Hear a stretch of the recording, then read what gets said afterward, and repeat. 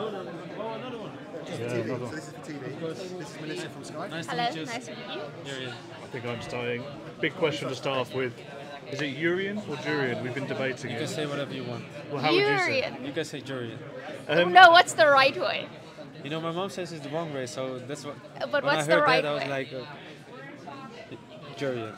Uh-uh.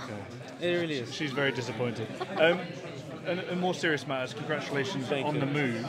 Um, what does it feel like to represent Arsenal Football Club? I appreciate this is probably an unusual start to your life at Arsenal, but to represent Arsenal, what does it mean?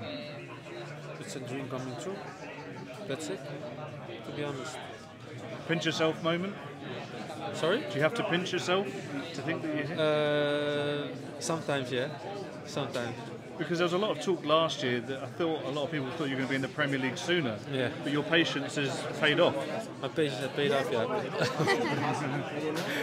uh, yeah, I just followed my feelings, and uh, yeah, I was patient, what you say, but uh, it paid off. It paid off. I'm at, uh, I think, one of the most beautiful clubs in in the world. And it's a really exciting time as well. I know there was a lot of disappointment at Arsenal not to have won the league, but signing people like Declan Rice, yourself, Kai Havertz, off the back of that season means that this club's only going one direction. Yeah, I said it to the other uh, people as well. Uh, they had a great season last year, and now they bought some players, so the expectations are really high. But uh, it's only nice to see that they're building and building, and uh, let's see what this year will bring. How do you think your skill set fits in with Arsenal? Obviously, quite a progressive team. You can play in multiple areas across the pitch. Yeah, I think you named it already, but uh, I think they bought me with a reason, and uh, uh, for me it's to show my uh, my skills and add some something to this group, and I can hope that I hope I can do this this season. Can you talk us through the first conversation you had with Mikel Arteta about his vision for you and how he spelled out what Arsenal plan to achieve?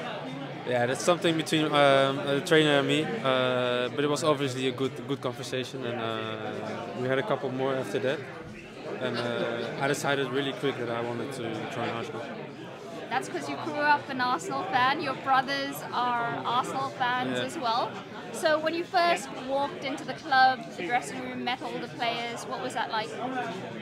Uh, of course, at the, at, at the first moment you're a bit nervous, uh, but also calm. I'm a calm guy, uh, but the guys are so welcoming, so it makes you very easy to to come into this group and uh, feel like one of them.